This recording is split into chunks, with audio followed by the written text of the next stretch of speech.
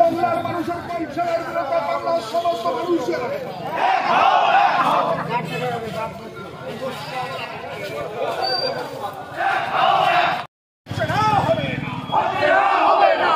তৃণমূলের আন্দোলন বন্ধ করা যায় না, যাবে না যাবে না যাবে না সিপিআই কে লেলিয়ে দিয়ে তৃণমূলের আন্দোলন বন্ধ করা যায় না যাবে না জিয়াফত জিয়াফত বলো বলো জোশ বলো বন্দে মাতরম মাতরম মাতরম মাতরম একটা স্টিল ছবি নেই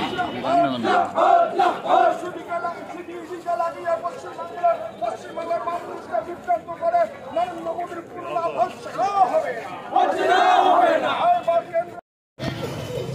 হুঁশিয়ার হুঁশিয়ার পদার্থ বিজেপি সরকার হুঁশিয়ার হুঁশিয়ার হুঁশিয়ার বাংলার মানুষের কণ্ঠের বিরুদ্ধে বাংলার সমস্ত মানুষের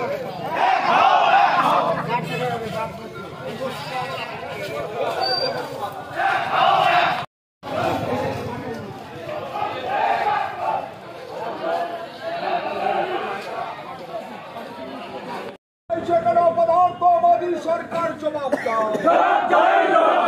বাংলার বঞ্চনার বিরুদ্ধে সমস্ত বাঙালি এক। ছিল আজকে কিসের জন্য আপনাদের এই মিছিল? আমাদের স্লোগানের মধ্যে দিয়েই তো পরিষ্কার যে আমরা কিসের জন্য মিছিল করছি। যেভাবে একশো দিনের কাজের টাকা আটকে রাখা হয়েছে আবাস যোজনার টাকা আটকে রাখা হয়েছে নানাভাবে এজেন্সিগুলোকে দিয়ে তৃণমূলের নেতা কর্মীদের হেনস্থা করবার চেষ্টা হচ্ছে। এর বিরুদ্ধে সারা রাজ্য জুড়ে মানুষ পথে নেমেছে। আজকে আমরা নয়ারহাটে এখানে মিছিল করলাম। এখান থেকে বেরিয়ে আমরা খেরবাড়ি হাটে মিছিল করব।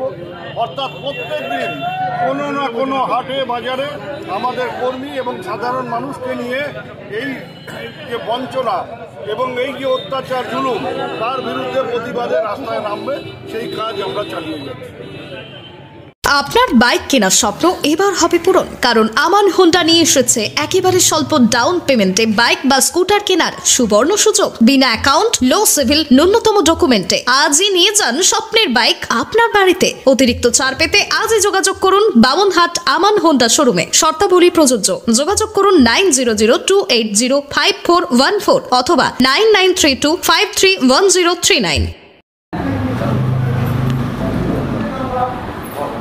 আজকে আপনাদের একশো দিনের কেন্দ্রের বঞ্চনার বিরুদ্ধে একশো দিনের টাকা নিয়ে মিছিল করলেন, সেখানে কিন্তু গ্রাম পঞ্চায়েত প্রধান হলেন তিনি উপস্থিত নেই। কি বলবেন? আজকে যে মিছিল হবে এখানে, এ ধরনের কোনো সিদ্ধান্ত আমাদের পার্টিতে হয়নি। শুধু আমরা জানি, সাড়ে ছয়টার দিকে আমাদের মন্ত্রী নয়ারহাটে আসবেন, এতটুকুই জানা।